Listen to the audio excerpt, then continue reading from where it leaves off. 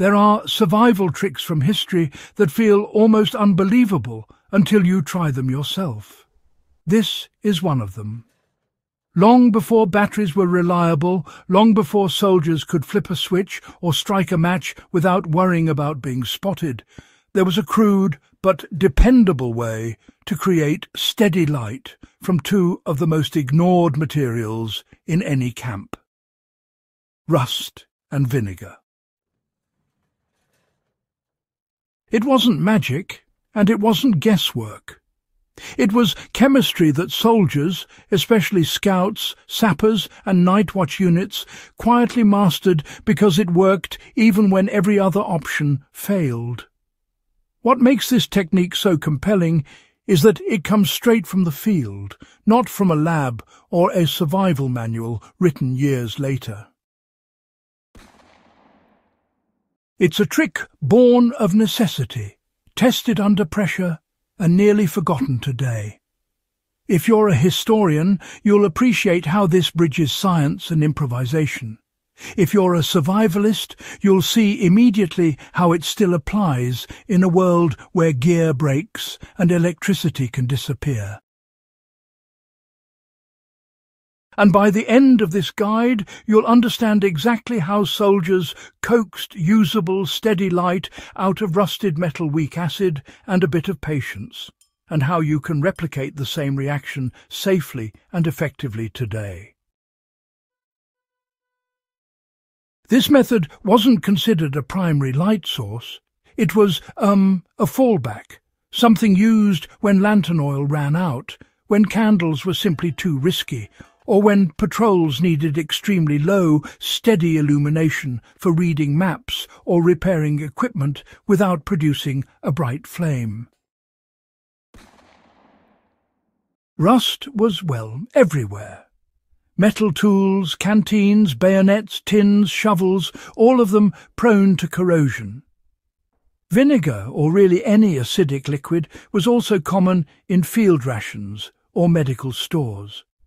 What soldiers discovered was that the reaction between iron oxide and mild acid releases small but consistent energy in the form of heat and gas. When directed through the right setup, that energy can trigger a faint but continuous glow through phosphorescent or carbon-coated materials. This wasn't fire. It wasn't a spark. It was a slow, controlled chemical glow, just enough for short-range visibility without drawing too much attention. When acidic vinegar is applied to rust, the acid dissolves the iron oxide and exposes fresh iron. As the reaction cycles, hydrogen gas forms along with iron ions and the surface heats slightly. Soldiers learned that certain natural minerals, like crushed calcium sulfate, chalk dust, or even fine campfire charcoal, could glow faintly when warmed by slow reactions.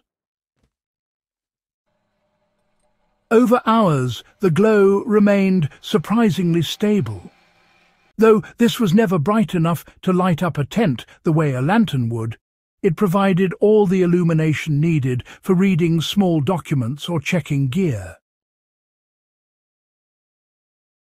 The science behind it is simple but effective. A slow exothermic reaction feeding a weak phosphorescent surface. A basic working unit, you see, starts with a rust source often a steel can or sheet scraped clean from an abandoned site. Soldiers would crush surface rust into a fine powder and place it in a shallow container made from folded metal, or sometimes thick leather. They'd add just enough vinegar to form a paste.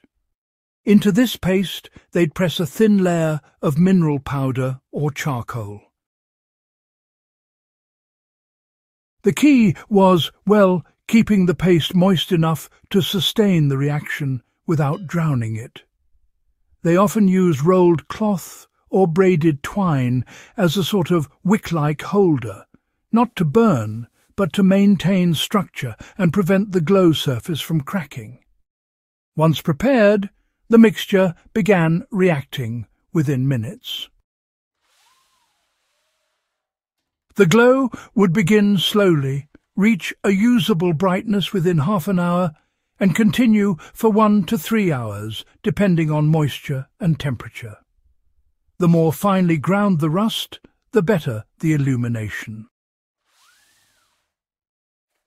If you want to replicate this historically significant method, you can do it safely with controlled materials.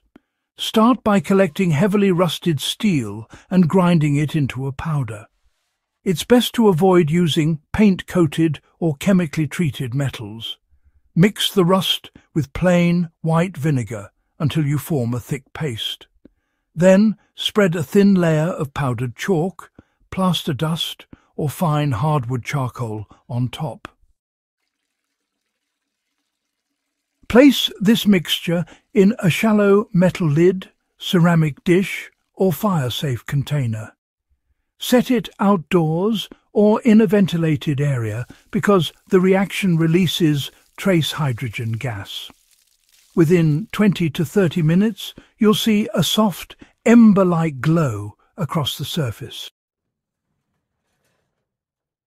The setup will never produce an open flame, which is why it was so valuable for low visibility operations. If the reaction dries out too fast, add a few drops of vinegar. If it becomes too wet, stir in more rust. The balance is the entire trick. Modern survivalists can, you know, adapt this method using rust scraped from old tools and vinegar carried in any field kit. In long-term power-out scenarios, it becomes a reliable backup for map reading or night signalling at close range. Even with modern LED gear, batteries fail, containers crack, and digital equipment becomes useless in extreme cold or moisture.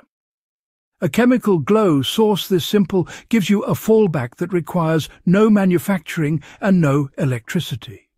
It can be replenished indefinitely as long as you have iron, oxygen and weak acid.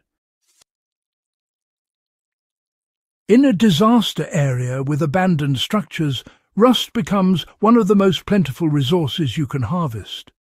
Vinegar or even acidic fruit fluids can drive the reaction. And unlike flame-based light, there's no risk of starting a fire in dry brush or drawing attention from far away. For historians, it's a rare window into the resourcefulness of soldiers who didn't accept darkness as a limitation.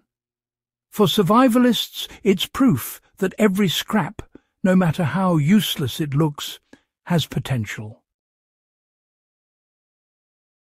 If this kind of forgotten field science excites you as much as it does the rest of us in the Warfield survival community, make sure you subscribe, share this guide with someone who loves history, and stick around for more deep dives into the tricks that kept soldiers alive when the odds were against them.